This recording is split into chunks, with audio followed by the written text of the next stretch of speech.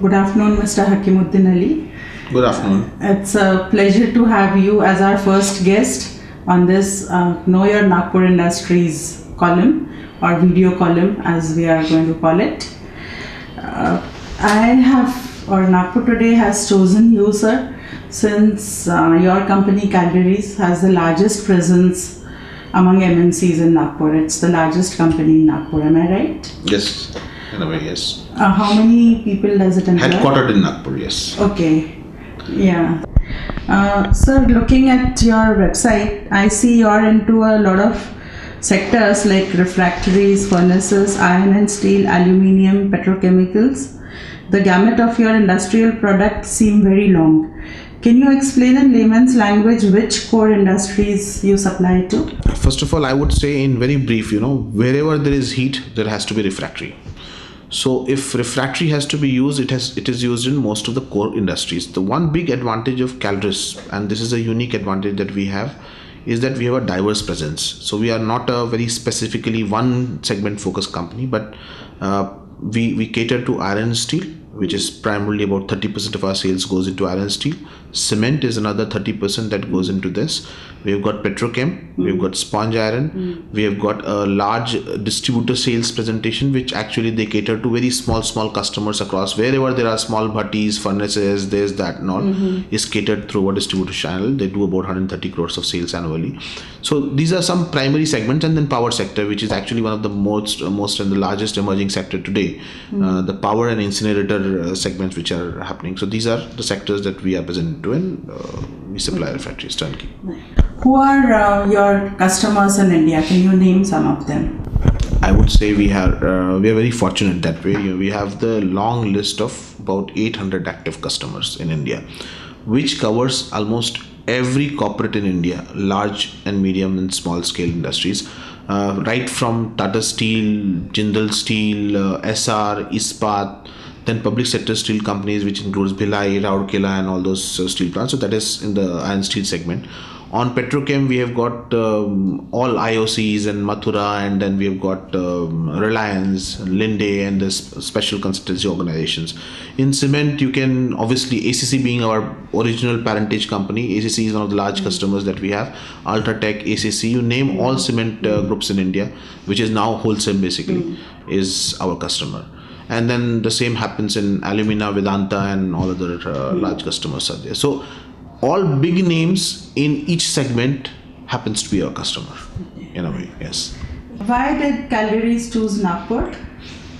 This is, I would say, very historical. So when we were ACC Refractories, we were having our parent plant in uh, Katni, which is almost now a hundred-year-old plant and then obviously uh, ACC thought of growing this company at that point of time. And uh, they thought Nagpur is a very ideal location and which is all we all know from the logistics perspective. So uh, our business actually consumes lots of minerals. Mm-hmm. so whether it comes from MP or it comes from Gujarat or it comes from uh, a bit of you know uh, western region. So it comes we get processed here and then it becomes logistically efficient for us to distribute it to various customers. So that is why Nagpur plant was conceived and it was uh, put up here uh, during those times somewhere around 80s is that we put up this plant and uh, today i can say very confidently that it is one of the largest monolithic refractory manufacturing plants in india coming to a personal question where are you from I belong to Raipur, but I have all along been, I would say, a Tata guy. I have worked in Tata Steel for about 18 20 years. So I have moved with Jamshedpur, then to Pune, and then to Nagpur. Mm-hmm. So destiny has taken me to a lot of places uh, this way. There is an opinion among some business people, even today, that Nagpur does not have an industrial atmosphere. What has been your experience? Uh, I would not fully concur with this because uh, I would say it like this, or rather put it up. Yes, Nagpur is a primarily a trading hub, and because of the logistics advantages in terms of manufacturing when i say industrial environment you know we should decode what industrial environment means and it actually amounts to four five things. Do we have adequate resources in and around nagpur which can be con- converted and tapped and this thing? Do we have the factor advantages like power? Is it is it available at economical cost? Do we have got good manpower and resources uh, which is skilled manpower and all which i certainly believe that nagpur has quite a good this thing? Is the location well connected with various cities of the country, especially through flight network, through rail network. This is another thing which is I would say is a strong uh, plus for Nagpur. So net net we have everything to do what is required for a good industrial location mm. per se. Environment is created by providing the right policies and frameworks, which I think uh, with the new CM uh, who's from Nagpur will certainly flow in as much as yes I can say that yes in last so many years it didn't get uh, the kind of attention which was required probably because mumbai has been the major destination in india mm. and uh, so it, in maharashtra anybody had to go they would go to mumbai and then it went to nagpur uh, to pune mm. and then you know i think i'm sure nagpur will emerge as a very big industrial manufacturing destination now mm-hmm. how is nagpur for sourcing employees that is for hiring people uh, if you look it from the perspective of availability of manpower, I would say it's very good because you have got one of the good uh, technical institutes, VNIT.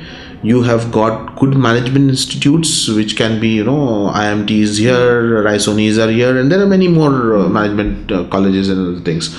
So, in terms of resources, certainly it exists today, uh, but there is, I think, more which is required in terms of providing them good employment opportunities which does not exist today. Mm. so so availability is certainly very high uh, and especially for the IT industry I would say that there are uh, now good opportunity which is coming up. So they are actually looking forward to this thing. But this is one area where probably there is some deficit especially for the IT industry. The kind of uh, expertise which they require mm. probably is still a bit too short so we are more uh, this region is more predominantly manufacturing oriented than you know it and uh, telecom oriented. So probably there's an opportunity there. Any plans for the city sir? Forays into engineering colleges more industries? I can only say on that front that uh, we are, in fact, uh, planning for some capital investment in our current Nagpur plant as well which is going to come up very recently. We are currently importing certain products, uh, which is lances and all, which is used in steel plants, which we might be manufacturing in Nagpur. That's one. On the recruitment front, since our corporate office uh, happens to be here, we have been recruiting lots of people from engineering colleges, from VNIT, and from other colleges uh, already uh, into our company. So that will continue. And um, I think uh, if if the central India and the western Maharashtra supports, I think this area from the growth perspective becomes uh, extremely important and we are already seeing that thing because power sector the way it is growing uh, in and around Nagpur in this area plus incinerator which is now the in thing from the PM Modi's thing that we need to recycle our uh, municipal waste so that can be a very big uh, business domain obviously so all this actually prompts uh, us to do more development and growth in our plants here in Nagpur. Do you advise other MNCs to come to Nagpur? Why not? If somebody asks for my advice i would certainly strongly vouch for it.